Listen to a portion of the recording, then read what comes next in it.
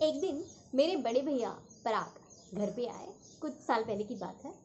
And मज़ाक चल रहा था। एंड मज़ाक मज़ाक में ही is like you know Pallavi, अगर ये ऊपर के कुछ लेयर्स निकल गए ना तो अंदर सिक्स पैक है।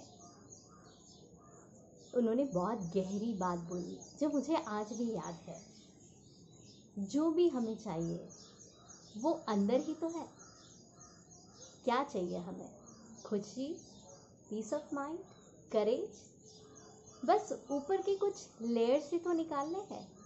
लेयर्स अपनी ही बनाई हुई धारणाओं के, विचारों के। लेयर्स दूसरों के नकारात्मक प्रभाव के, जो हमारे किसी काम के नहीं हैं। सब कुछ अंदर ही तो है और हम बाहर ढूंढ रहे हैं। Think about it